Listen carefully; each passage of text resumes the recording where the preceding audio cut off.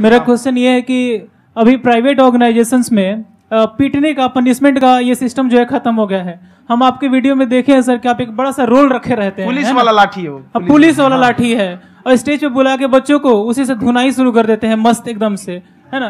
तो सर मतलब कि बच्चे मतलब कि डरते नहीं हैं आपसे और इस तरीके से कैसे कनेक्टेड हैं आपसे है ये जो डंडे वाली बात इन्होंने कही ये सच है? मतलब आप हाँ, सच में एक में। डंडा रखते हो? पुलिस का ही है वो। और मारते हो? हाँ। कि मतलब अगर कोई लड़की छेड़ता है या ऐसा कोई भी उल्टा पुल्टा पढ़ाई करता लिखाई है। कुछ भी गलती करेंगे तो पिटाएँगे वो यहाँ पे। कैमरे पे? ऑन कैमरा जैसा भी रहे कुछ भी पिटाना तो उनको फिक्स है। एक तो कोई मतलब विधायक जी थे उनके लड़का को पीट दिए तो चला दल बल लेके अपना वहाँ पे। उसने घर पे नहीं बताया था कि सर ने पीटा है। बस बोल दिया कोचिंग में पीटा है। बाद में पता चला हम पीटे हैं तो उसके पिताजी मेरे सामने और पीटे।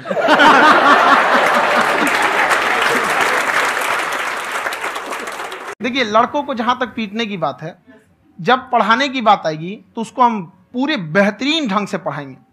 लेकिन जब सजा देने की बात आएगी ना तो वो भी बेहतरीन ढंग से होगा। ऐसा थोड़ी होगा कि बस एक ही चीज़ बेहतरीन ढंग से होगा।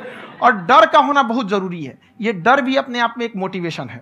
क्योंकि जब आपके अंदर एक थोड़ा सा डर रहे ना तो डर के भागिए मत।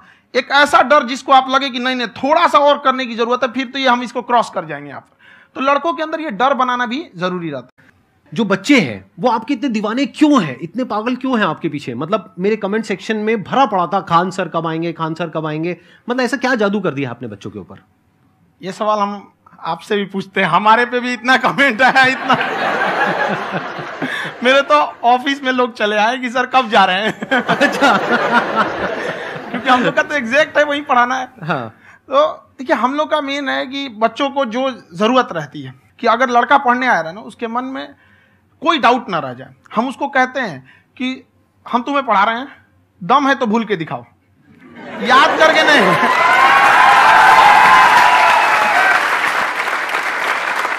प्लस आप जिस प्राइस पॉइंट पे पढ़ा रहे हैं आई थिंक वो सबसे कम है वो बहुत ही कम है। सर ये जो फ़ीस का कल्चर है हाँ। ये हमारा इंडियन कल्चर नहीं है। हमारा इंडियन कल्चर गुरु दक्षिणा है उस हिसाब से वो सही है।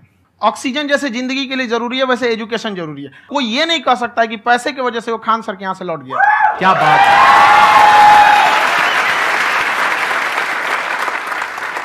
है। जब हम गुलाम थे ना तो अंग्रेज़ों ने एक चाल चला था कि भारत को हम फिजिकली गुलाम रखेंगे सौ दो सौ साल मेंटली हज़ार साल कर देंगे। उन्होंने पढ़ाई का मॉडल चेंज कर दिया। उन्होंने ऐसा डिज़ाइन किया कि ये टीचर की रिस्पॉन्सिबिलिटी है, वो पढ़ा के चला जाए। टीचर की रिस्पॉन्सिबिलिटी यहाँ खत्म नहीं हो जाती। है पढ़ाना तो कोई भी पढ़ा सकता है। टीचर की इससे बड़ी रिस्पॉन्सिबिलिटी होती है उसे समझाना। वो समझा कि नहीं समझा। अगर लड़का आपके समझाने के बाद डाउट रह गया तो ये आपकी गलती है। लड़का हमसे पूछता है, सर, इतनी भीड़ है आपके पास? तो कहे सर डाउट कैसे पूछेंगे? हम कह रहे तुम्हारा डाउट बचेगा तब ना पूछेगा तुम डाउट यहाँ पर